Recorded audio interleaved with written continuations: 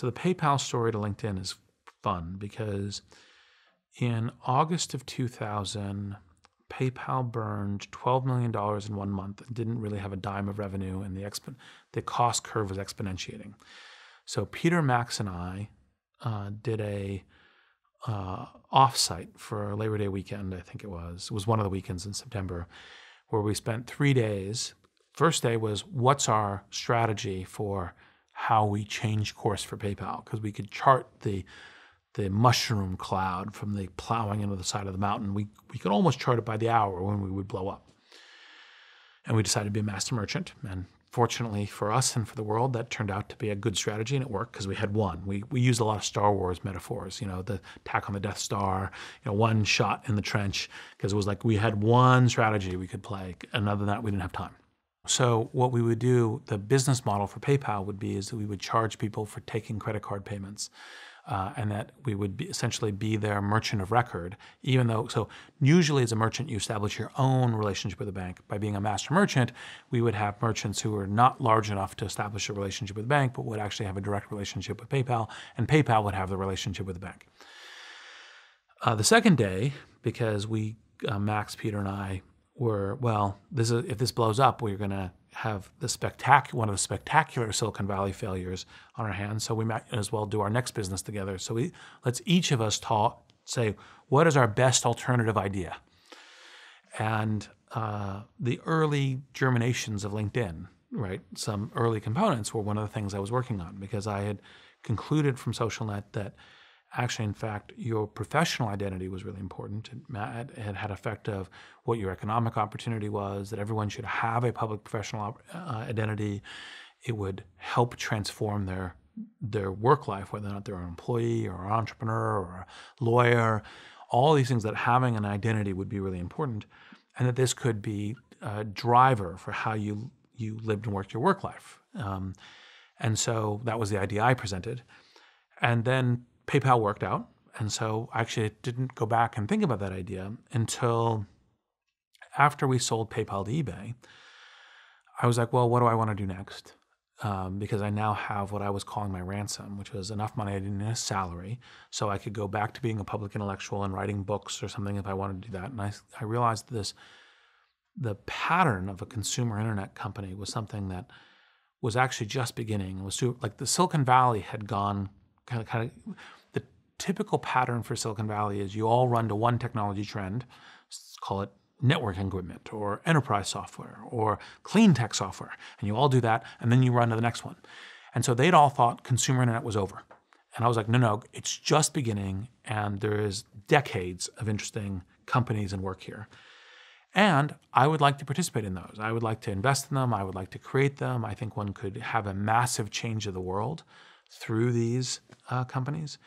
And so I invested in such companies as Friendster and Facebook and Flickr and a number of others, Zynga, uh, and then I uh, started LinkedIn. Uh, and that was because uh, this whole notion of how networks can be a platform for identity and for applications that help us navigate the world in a much better way. That was what I had started this whole thing, you know, my whole path into Silicon Valley with. And that was now is that at least a time, if not the time, to really do that. I knew there was very high probability I was right because um, I was close enough to it to know. Now, would I have known you would have had these giant companies like, you know, LinkedIn, Twitter, Facebook, Airbnb, you know, Dropbox? Uh, I wouldn't have necessarily known how big they were, but I knew the phenomena was real. And this is one of the areas where expertise really matters because I knew the cost of developing these services was going way down. There was open source software, there was cloud hosting, uh, that essentially much cheaper models for running these services. I also knew that the business models for the media and attention, just advertising alone would get better, and that the consumer demand for these products was there. So I couldn't have told you that, you know, some of these companies would be massive multi-billion dollar businesses but i could have told you that the i know the products would work. I knew the business models would work. And so it was a worthwhile thing to to engage in both as an entrepreneur as an investor and then personally the way of transforming how you impact the world through software ecosystems that help people establish identities, connect with each other, communicate with each other, coordinate with each other, seek entertainment, build social relationships. All of those things were the precise reason I got into Silicon Valley software creation, software entrepreneurship in the first place. So I was like, nope, this is the play. I had originally thought I was going to take a year off. And I said, no, I don't. I, will take two weeks. I'll go visit my friend Ned Hoyt in Australia, and then I'm back to the back to work because this is the time. And I was right about that. One of the metaphors I use for entrepreneurship is you jump off a cliff and you assemble an airplane on the way down. Now, if you do this in a particularly to do this more intelligently, you're choosing your cliff, you're choosing when, you're preparing yourself with the right materials, the right teammates to jump over the cliff with, these sorts of things. But sometimes you just have a love of this technology or this area and you stumble your way into it. So it's not, it, you know, you can be more systematic, you can increase your probabilities, you can increase your scale of outcome. Uh, but also sometimes, you know, people are just like, uh, they happen to be doing something they love, and all of a sudden the commercial models and venture and everything else goes into it, and all of a sudden it's it's off to the races. And there were a number of successful companies that started that way uh, in terms of that. So it's it's both, but it's skill help, uh, skill and knowledge, and networks help.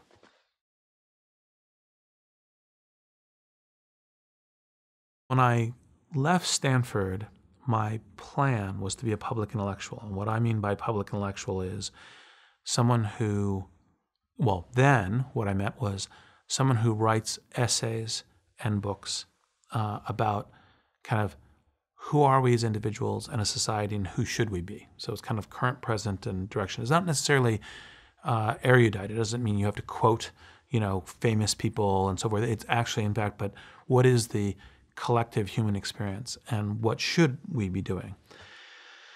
And my view of the path to that was by being an academic. And so uh, I was uh, fortunate to, to have received a Marshall Scholarship. And so I thought that that would give me a chance to test whether or not being an academic was a good thing. And that the specific kind of academic I might want to be would be a philosopher, um, in part because my interest is in thought and language. And so I went uh, to Oxford and, and uh, started becoming a student of philosophy. And then I quickly, fairly quickly realized that philosophical scholarship uh, wasn't interesting to me because it didn't have a broad enough impact.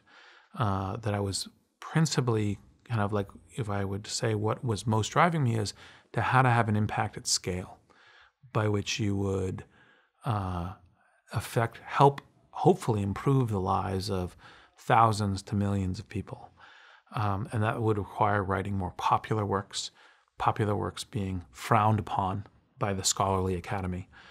Uh, and so I was like, okay, I have to do something else.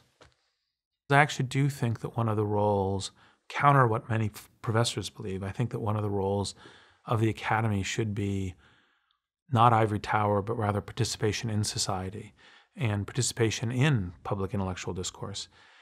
Uh, I understand the drive to scholarship, the importance of scholarship, um, but I think it underplays these other important responsibilities. So it was difficult for for that reason, and it was also difficult because uh, it was like, okay, well, this public intellectual participation is what really matters to me. How do I still make that possible? How do I still contribute there? Uh, and it took me at least a year of serious thought to formulate a second plan. Um, and if I hadn't gone to Stanford, I never would have formulated the plan I have, which is software entrepreneurship. Um, and so it was like, oh, wait, maybe this would work. When I was thinking about public intellectuals and the kind of classic as an author of essays and books, I realized that that's in some sense, an old school form of media, right? Which is to say, there's other forms of media, and that media is the, to some degree, the form that public intellectuals can operate in. And I said, well, actually, software is transforming the world, and uh, there is all kinds of different ways that software affects how we think of ourselves, how we communicate, how we form an image of how the world works. and how we connect with each other. And so I was like, well, haven't ever really thought about being a business person. And by the way, even being an entrepreneur at that time, he said, you will be an entrepreneur. I was like, oh, I guess, right? Like it was only years after I'd started, I was, I had started LinkedIn, which is kind of the third startup that I was like, oh yes, entrepreneur is a word that describes me. Like I understand that that's a word that applies to me, but that wasn't like my goal was to be an entrepreneur. Um, what I realized is that actually creating software products could actually have this similar kind of public intellectual impact. And if it didn't have as much of an impact as I'd like, maybe I could make enough money that I could then not need to, to fund myself uh, through, I could um, essentially not need a salary, and so therefore I could become a public intellectual writing myself. And so it's kind of a plan A and a plan B. And, uh, and so I came back uh, from Oxford, first time since uh, maybe since I was in junior high, I didn't have a structured strategic plan I, that I knew exactly what I was going to do. It was like, I need to come figure out this software thing in Silicon Valley. And so I came back without any concrete plans. And um, at my second week of living at my dad's house, he's like, okay, so you're going to go get a job now, right? And I'm like, well, I was going to research a whole lot. He's like, why don't you research while you get a job? and I was like, oh, okay. And so I, um, uh, I was fortunate. This is one of the things where, I mean, I had some of the theory pieces of the fact that we live and work in a networked age now. Um, and maybe I had some good instincts about that, but I just started calling my friends and saying, okay, where's, where's a good place to work? And one of my uh, close friends, um, uh, a gentleman named Stefan Heck, his roommate, Jesse Ellenbogen, uh, was working at Apple at the time. And he said, oh, well, what do you think about Apple? And I was like, oh, Apple's a great company. And so uh, Stefan put Jesse and I in touch with each other, and my first job ended up being at Apple Computer. When I went to Jesse, he said, "Well, you don't have any, you don't have enough depth of engineering experience to be an engineer, and you don't have enough. We're the UI group, the user experience group. Uh, uh, you don't have any specific like art experience, which is usually a requirement here. But however, we do have this kind of like set of problems that we have a headcount for that we don't know how to solve. Like it's unclear who you'd hire to do that. And you seem smart, so." uh, why don't you come on a contract and see what you can do? right? We're like, oh, that's fine. That sounds interesting.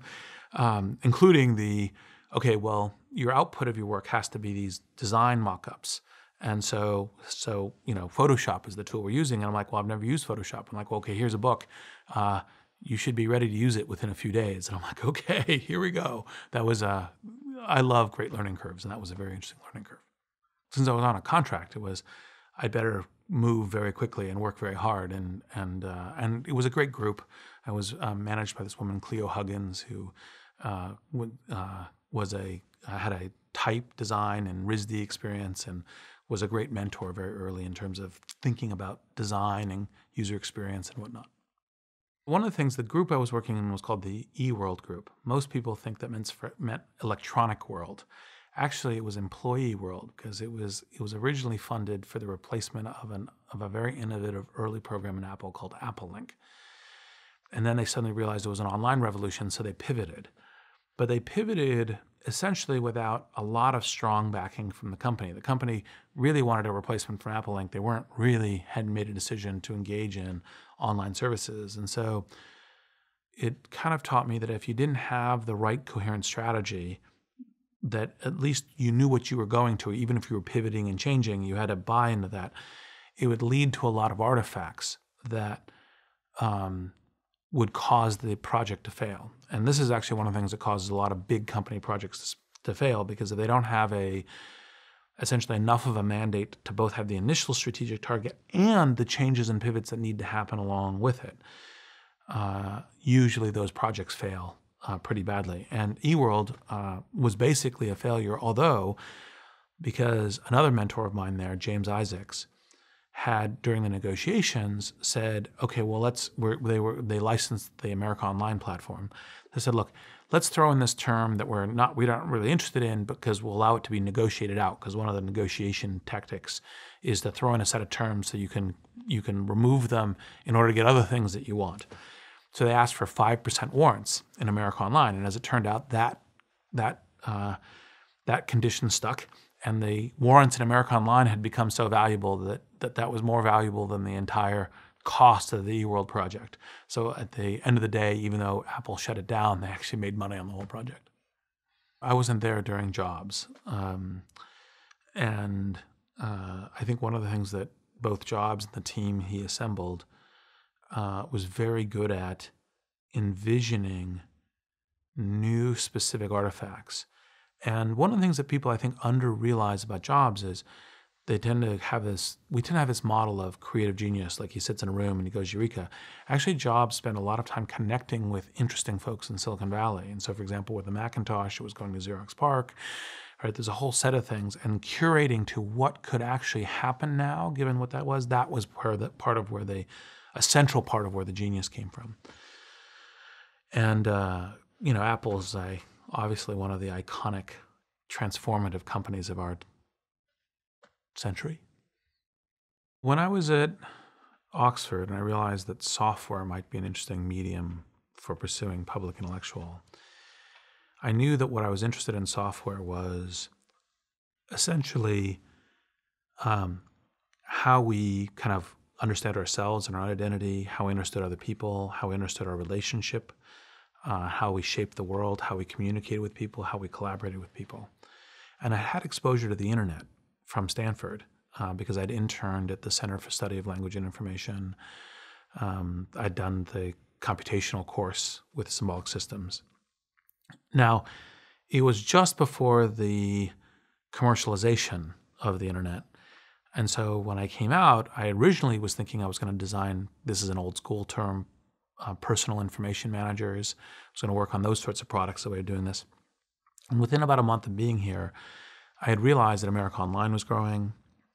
CompuServe was beginning to be paid attention to. Prodigy, as most young people today would be, i have no idea what I'm talking about with everything other than maybe America Online.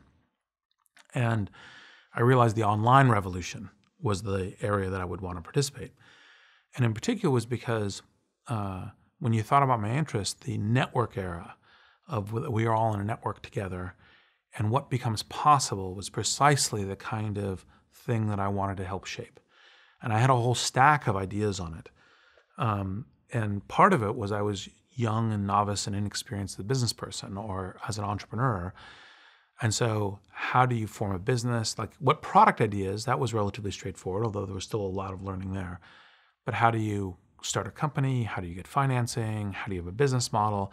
Now, the fortunate thing about early consumer internet is that everyone was fairly novice in this because there were different business rules, there were different ways you did customer acquisition, there were different technologies at play.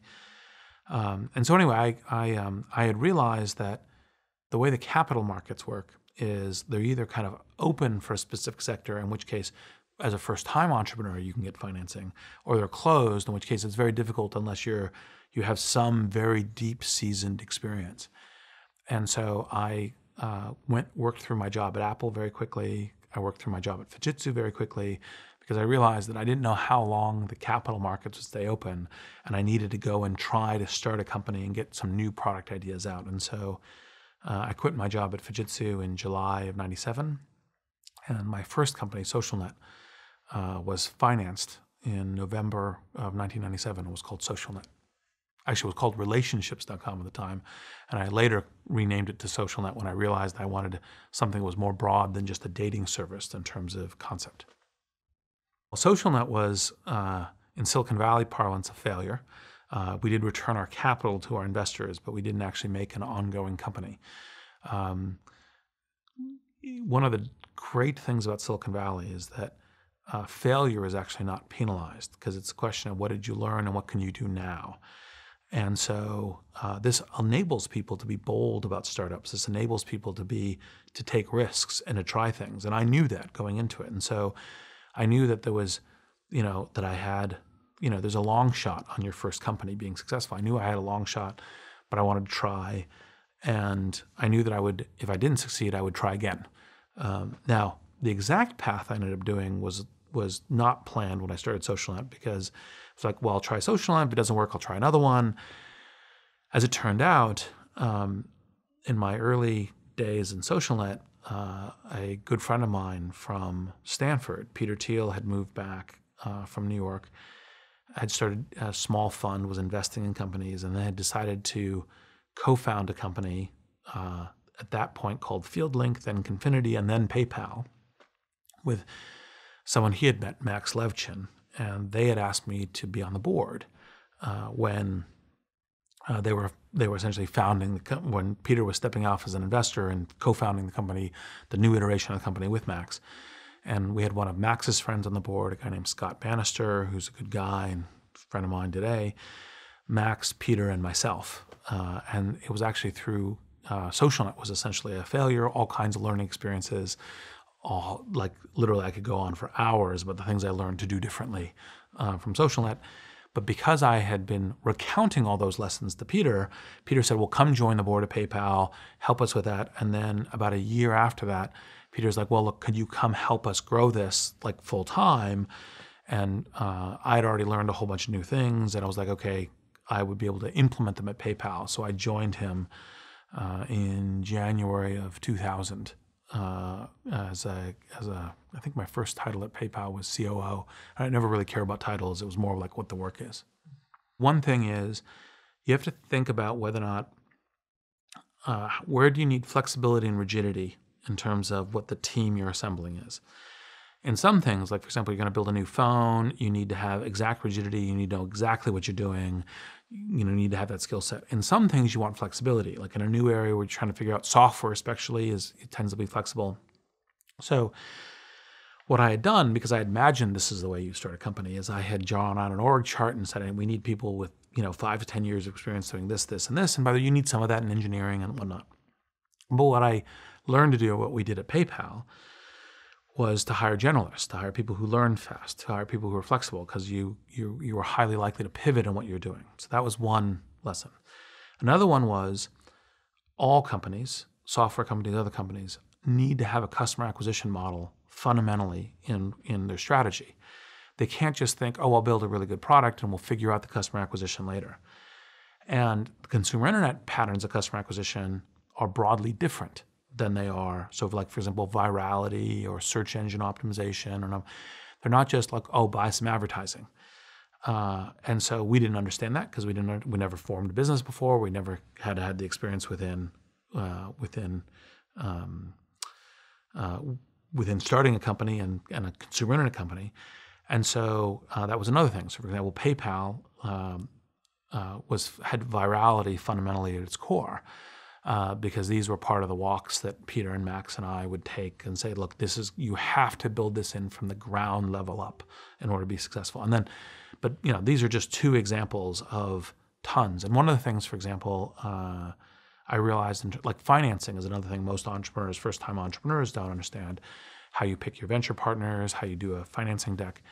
And so, for example, one of the things I realized I could do, kind of post the success of LinkedIn, uh, was I published our Series B deck and kind of what the analysis was of how creating a financing deck and how to do that and and how to select venture partners and so forth because uh, these these decks are very rarely published because by the way they're frequently the mature business is very different than the business that's discussed but as and the the founders don't have an interest in it but since I was trying to help entrepreneurs it was like okay this is something I could publish and help people. So there's just just a long list of lessons This is one of the things Peter and I would talk about. The first book I would ever thought I would write would be a book on friendship, because I think there's a bunch of interesting things about friendship. And in fact, um, the uh, you know the way that we go through life together is essentially the thing that most occupies my attention. Whether it's the way we go through life as friends, whether it's as colleagues, whether it's as you know citizens, uh, whether it's as workers, and to some degree, I think all of the theories of meaning of life that I think have some substance is how are we going through life together? What are our obligations to each other? What are our obligations to ourselves? What are the things we can aspire to? How do we make ourselves, when we aspire to what is the best in humanity, how do we get there. And the way that we discover that is through conversation with each other, through this is part of the public intellectual, through um, uh, through hearing other people's points of view and evolving our own and evolving theirs. And so that network connectivity, that that how people how we shape each other is is at the bedrock of what I pay attention to and work in. So the the kind of the foundation of LinkedIn is the insight that every individual, whether a student or Bill Gates, having a public professional identity that helps you navigate your world of work, what you're particularly seeking to do, is extremely helpful. And it's helpful both on an inbound basis, because one of the truths about living and working in the networked age is that you have to have a strategy for how you're found and then how the right signal gets through to you and being found, because there are millions of people out there. So you have to think each CPU processor, each agent, each person. How do you get found by the right person, the right people, and how do you do business with them? And then also, how do you find the right people? How do you find expertise? How do you find business opportunities? How do you find jobs? How do you find how to invest in yourself? And both of those are through the network as a as a fabric, as a foundation. And so, um, I realized my time at SocialNet, talking to Peter and Max at PayPal, that this would be that one of the fundamental ways to transform people's lives is to enrich their economic opportunity, to enrich their ability to either work, to start companies, to navigate whatever economic life is important to them, and that that would be a uh, a worthy goal of, you know, twelve plus years of my life and still going. Even today, most people coming to LinkedIn don't really realize how strong the tools are. Because most people, when they think I look for work, they go, We have job listings on LinkedIn. They go and look at the job listings. It's a perfectly valid thing to do. But the really interesting thing is to say, Well, who do you know who is, in our language LinkedIn, two degrees away from you, who can help give you guidance, who can say, Well, this company is a good place to work, or there's this opportunity here? I mean, goes all the way back to my work, my business career started with a call to a Stanford friend whose roommate was working at Apple. How do you discover those opportunities? Well, that all comes from your network. And so even today, with you know well over 300 million people on LinkedIn, people still have most people have yet to learn how to use their network in order to to ally with their network in order to find the right economic opportunities. And that's some of the things that we're I'm still working on, we're still working on. Anyway, it's a long ways to go still. So, having had the experience of both SocialNet and PayPal, LinkedIn is one of the unusual consumer internet plays that there were a lot of details and a lot of new learnings, but the broad scope of what we were doing, the broad scope of what the business model would be, the broad scope of what features would be in the future, we had many of these ideas at the beginning. And uh, and the, for example, apply with LinkedIn that your LinkedIn profile would become your public identity, would become the thing that you would by which people would find you for hiring you, for doing business with you, for doing business with your company, for you applying for a job. That that we knew from the very beginning. And one of the powerful things, so frequently people think, oh, there's business and there's changing the world. And that they frequently think of them as different. Like they think of changing the world as a government thing or a nonprofit thing.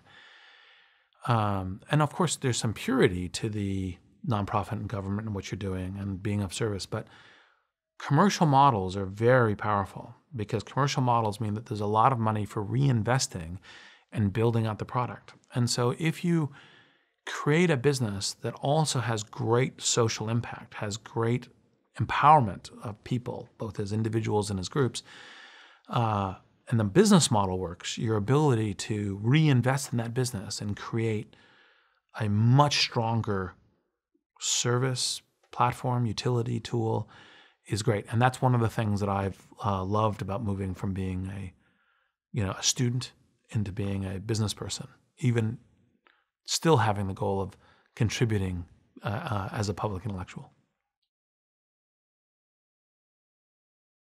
We get a lot of criticism of being boring um, over the years, and there is both some fairness and some non-fairness to that criticism. The fairness is that I'm sure we could, we year by year, we endeavor to make the service better, more interesting, easier to use. The unfairness is actually, in fact, our goal isn't entertainment. Our goal is helping put the tools of navigating the networked world of work into people's hands. And people don't do that to watch like a, you know, cute cat pictures or, you know, funniest home pet videos or whatnot. That like entertainment is not our goal. Transforming people's ability to lead their economic lives is our goal. And frequently, by the way, that's that requires some work and is not simply entertaining and whatnot. So uh, I would say that I, broadly speaking, uh, I pay attention to that feedback as a way to help me improve making the service better, but I don't lose track of the fact that my primary goal is how do I enable people's economic lives. And we actually knew we were rolling out some sales products. We knew that would be there. Uh, we knew that there would be um, uh, business productivity products. So, like we have this whole kind of how do businesses advertise to professionals. We knew all there's nuances of of how which products do you do first, what's the first version of them, but we knew that that would be a uh, those would be first early important parts of the business model. Actually, there was one part that was a little different. Um, we thought that we would start by selling to individuals for years and that we'd only get to corporations later.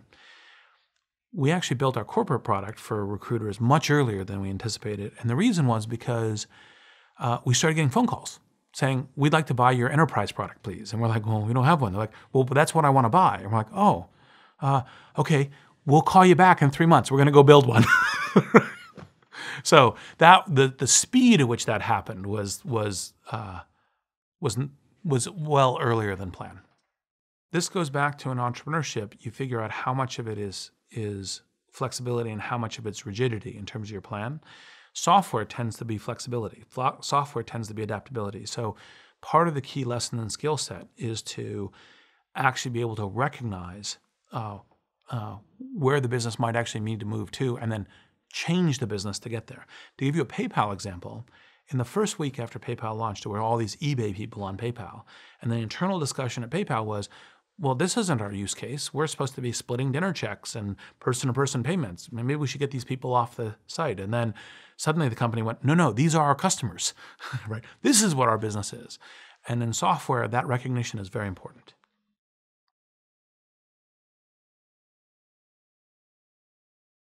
I understand you had an interest in philosophy as a young man. Hmm. So, um, one of the very good pieces of advice that my freshman advisor at Stanford gave me in order to figure out a major was to read through courses and degrees and circle the courses that I had to take before I left, and then figure out what the coherent pattern was. And what I realized my central interest was how we as people, as humans, think, speak, reason, communicate, understand each other. And so uh, at Stanford, that led me to the major that was called symbolic systems, which is this kind of medley of computer science, philosophy, linguistics, psychology, some mathematical logic. That's pretty much the set of it. And while I was doing that, I realized that we didn't have very good models for what it was to think, what it was to speak, what it was to understand each other. And so I got uh, more interested in philosophy as a possibility for understanding how we, how we kind of form images of the world, how it is possibly we can communicate. And that's where the specific kind of scholarly interest in philosophy came from. Now, that all being said, uh, when I left Stanford, my primary thought was I was going to become an academic. And the class that I most wanted to teach was a meaning of life class. And you could call that philosophy as well, although that's not what professional academic philosophers would think of as philosophy. Uh, but I also have that kind of broad interest in kind of what is the human experience, what is the meaning of human life. There's um, uh, contemporary, what is called analytic philosophy, which is generally speaking uh, uh, the US and the UK and some of the Commonwealth, uh, theorizes philosophy as kind of pre science, when you have areas that have not yet gotten to the discipline of a rigorous methodology, you know, possibly experimental science, although not all in all science necessarily, of course, experimental. Uh, that it's the realm of philosophy, and it's kind of that uh, what philosophy most primarily does is give birth to sciences, and so what they their methodology is primarily to kind of begin to do all this pre-theoretic work. Now there is some folks who study the history of philosophy as well, but that's a subset, small discipline of that. Now, the analytic philosophers view themselves as in contrast to the continental philosophers, who are uh, generally speaking Europe, although there's also, of course, international traditions of various sorts, which uh, view themselves to actually be more the framers of kind of what is how are we embedded in language? How are we embedded in society? How are we embedded in like uh, kind of a, an intellectual tradition of like you know kind of like what is being in the world or you know what is nothingness and these sorts of things. And uh, analytic philosophers and continental philosophers both each tend to think that the other tradition is foolish uh, so there's a lot of intellectual battles between those two, traditions i myself don't ascribe to either of them um, although I find things to learn in each of them. Both my parents are lawyers, um, and have both had professional law careers. Uh, my father had something of political activism uh, in him. His first, um, um, you know, kind of, he was working in a legal clinic in Berkeley as his first job after Stanford Law School. Uh, and uh, among his accomplishments, uh, uh, as part of the pro bono work he was doing uh, when he was here at the law firm in San Francisco, uh, he helped make sure that a film called Death in the West was declared as a public interest film. Basically, what this film had done is it had gone and interviewed six, um, you know, it was very um, popular for cigarette companies to have cowboys as the instance of manliness, you know, saying, oh, I smoke, you know, various cigarette companies. And um, so they interviewed them, and then they went back, I think it was 10 years later, and they um, uh, tried to do the six follow up interviews. Uh, I believe three of them were at the gravestones where the folks had died from lung cancer. Two of them were in the hospital when they're on respirators, and one of them was seriously ill. So, of course, this made the the the smoking is dangerous case rather compellingly, and the uh, the cigarette industry sued uh, to destroy the film because uh, it was so expensive. They folded. They gave all copies, but a, a, a um, copy was um, escaped and was in the wild. And my dad's legal work was to get this declared as a public interest law, which therefore meant copyright didn't apply, which meant that the the cigarette companies could not stop it from being played. And this is the sort of thing that my father would do as as as a as a political figure. He wasn't really um, uh, neither he nor my mother are really intellectuals in the way that. Uh, well, I mean them, or or differently, the way society means them. My definition of intellectual is somewhat different, but very politically active. Uh, both my parents' family is essentially heavily immigrant, um, but on my father's side, uh, my father's grandfather um, was an LA newspaperman and was the author of a, I think his most popular work, a lot of westerns, was Gunslinger Gospel, and, um, and, there was an early black and white uh, film made of it. And uh, my father's mother uh, is a descendant of the Wylie family, which is, I believe, the founders of the Indiana University at Bloomington and were pastors. Um, I don't have an exact uh, I'm, I'm, classically American. You kind of, as you get past great grandparents, it gets very blurry. I was born in the Stanford Hospital because my uh, father was a law student at Stanford at the time. Uh, actually, entertained my father to no end that um, for many years my Stanford transcript had birthplace unknown on it, which was which he thought was super entertaining. Given it was like, well, it was here.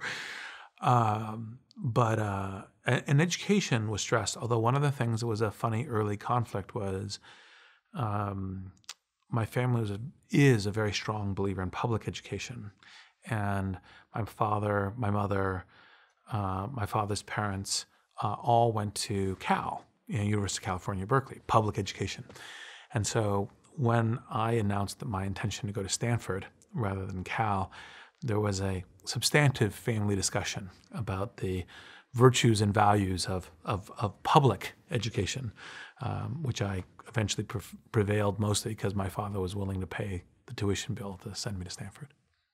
I persuaded, I think I got my father onto private school because I had grown convinced when I was young. I went to a public junior high school, uh, Martin Luther King School in um, uh, in Berkeley, and uh, probably is indirectly related to my paying a lot of attention to Martin Luther King and thinking he's one of the great American heroes.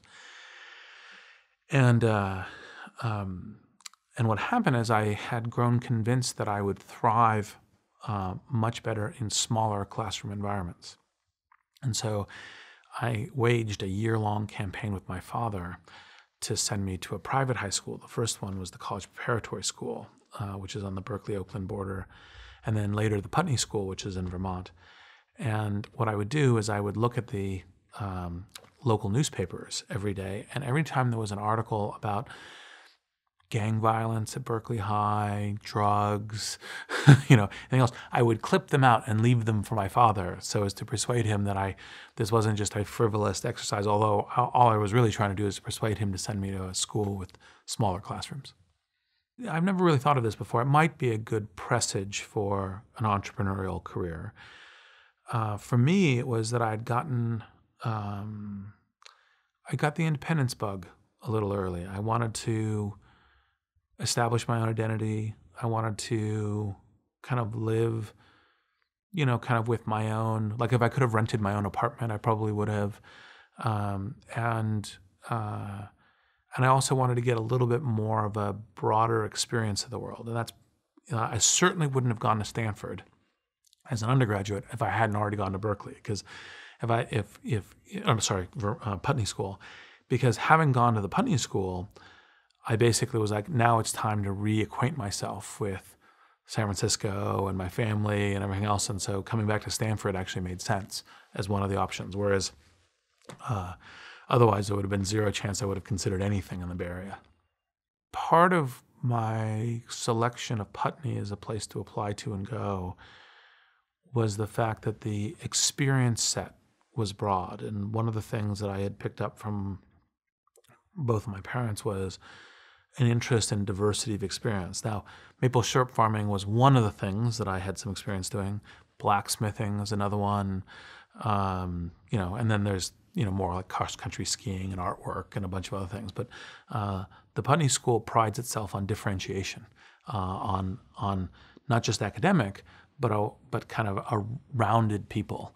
Uh, and so, for example, everyone who goes through Putney has some experience with art, uh, just that you get you know some breadth in that, some experience with the outdoors. Uh, it breaks into um, camping trips uh, two or three times a year, where everyone goes out and you know climbs a mountain, canoes, bicycle trips, like this whole thing in order to get all of experience. And that was uh, that was part of the reason I chose to go there.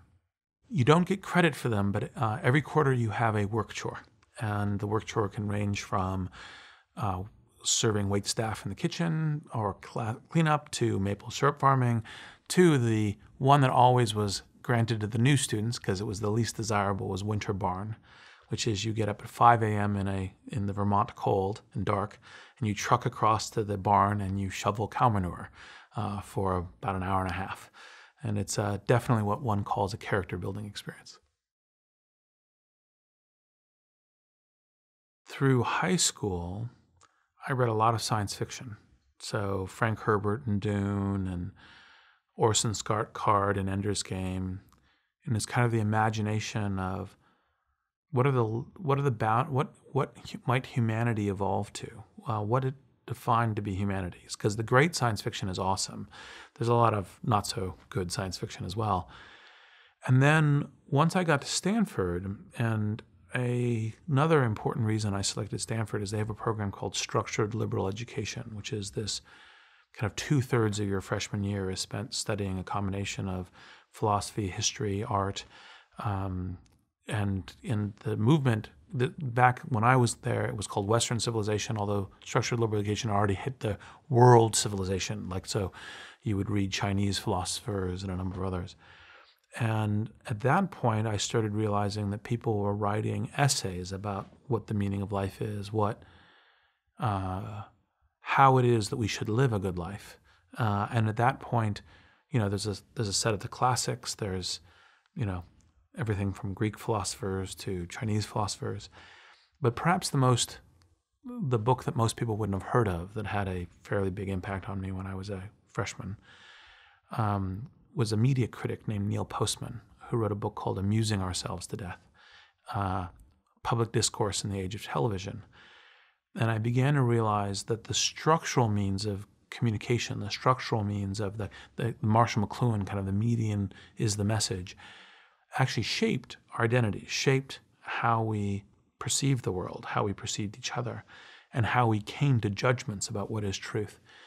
And uh, that's where I started getting interested in how kind of thought and language uh, were important, how um, the way that we communicate and the medium by which we communicated, we uh, crafted messages was uh, extremely important to a better life.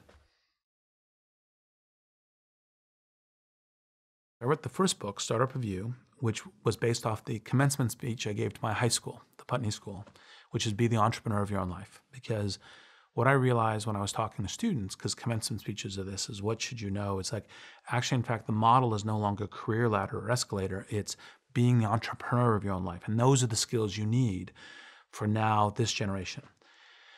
So then I was like, well, so now people need to understand how to hire and manage the startup of your workforce. Um, and they have no clue. So what should I do? Well, maybe I should write an essay and I'll send that essay to HBR and, and publish on kind of how to think about managing an adaptive and, uh, and people who are being the entrepreneurs of their own career workforce. And they said, well, we'll publish the essay, but we really want to publish the book. And I'm like, oh, that's a good idea. Actually, I could see how a book could be useful here. So we then we then published a book. And the, the primary thought in the book was that it is now truth in in and growing more and more true in all industries, all countries, all regions, that people work at multiple companies through their career. And yet, that conversation does not happen honestly in almost any business today, even in Silicon Valley, which understands this. Like, like it doesn't start with, "Hey, we should talk about like what's your next tour here? Is it going to be somewhere else? We should have this as an open and honest conversation." because we should mutually plan for it and we should mutually help each other. Because even though lifetime employment at one company may be much rarer now, uh, lifetime relationship is still totally possible and is still mutually beneficial. And what's more, the only way you can invest in the future is if you have honest conversations with each other, if you have basis of trust. And so it's like, okay, here's a set of tools for doing that. And uh, uh, and I've been pleased, actually. One of the things that's been very nice about the publication of the Alliance has been like literally talking to people where they're like, I read it yesterday and I put it into motion today. And that's, you know, it's very pleasing as an author.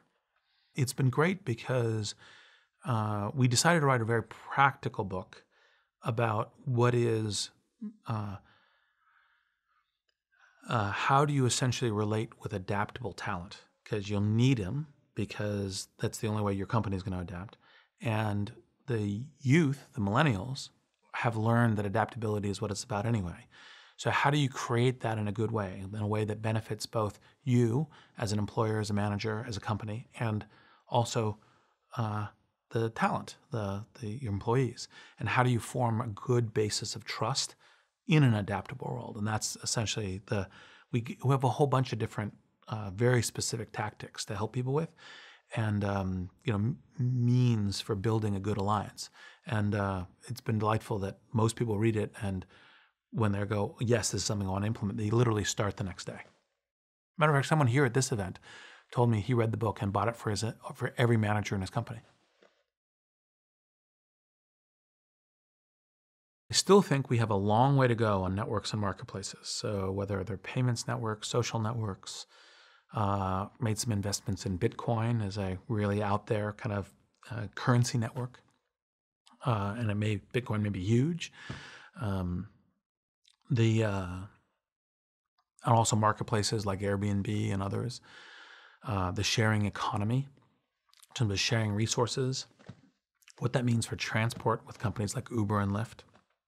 Now, there's still a ton more to come there. There's some very interesting things I think coming in the intersection of of networks and biology and computation, whether it's personalized medicine, uh, targeting health by genetics, uh, being able to actually even modify genetics. So if you had a genetic condition that was predisposition to extreme ill health, you might actually, there's this technology called CRISPR that might be able to, to both understand it and also change it.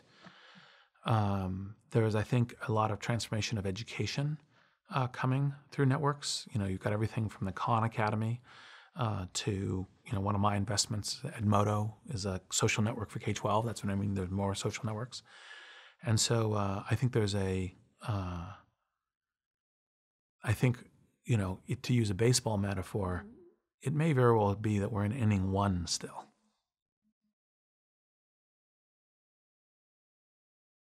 What happened is uh, I had I had led the first round in Friendster because most people who wanted to do networks wanted to come talk to me, and I did LinkedIn, and then I had all this press that was like, "Well, is this having your cake and eating it too? And aren't these competitive?" I'm like, "No, they're not competitive." But one of the key things about integrity is to not just uh, uh, have integrity, but also appear to have integrity. It's important both to have the substance and the appearance. And so, uh, so appearance matters to to being able to to lead, to show and live with how much integrity matters. And so, when Sean called me and said, "Well, you know, there's this thing called the Facebook. I think it was called the Facebook at the time versus Facebook," and I was like, "I know about it. It's awesome. I'd love to invest." But you know, probably I shouldn't lead because of this thing. But Peter would be excellent, uh, and so Peter should lead, and I will participate. Um, and so uh, and then I also brought in Mark Pincus because uh, Mark and I had this uh, patent that we shared called the Six Degrees patent. And I thought it was just fair that since we were doing that, he should also be an investor here. And I think Sean had also talked to him. And um, uh, and so we all were in the first money, and Peter led and joined the board. And, and obviously, it was a massively successful investment um, for Peter and for me. I mean, even with my even with following him, but it was probably the economic the most, on a pure economic basis, was probably the most expensive decision uh, I've made. But integrity is worth it. Part of what's great about software entrepreneurship, especially with networks and marketplaces, is that for a relatively small amount of money, you can create massive scale impact. So ultimately, LinkedIn could have gotten everywhere it was gotten with about $13 million in cash. That's affecting well over 300 million people, growing in tens of millions, right? I don't know what the company there, I don't know what our public statement is about growth. Uh, so I'm being oblique because uh, public company rules. Uh, and helping transform what their economic opportunities are, how jobs are found, how businesses are built, how clients are found. Uh, and all of that has a huge impact on how they can fund education for their kids and all the rest of the stuff. So the impact is huge. So with an idea that, you know, uh, luck, hard work, drive, knowledge, expertise, networks, all of that, you can achieve huge scale and that kind of that that optimism and belief that we have in the American dream and entrepreneurship is all very much alive and present, and it's uh, it's great.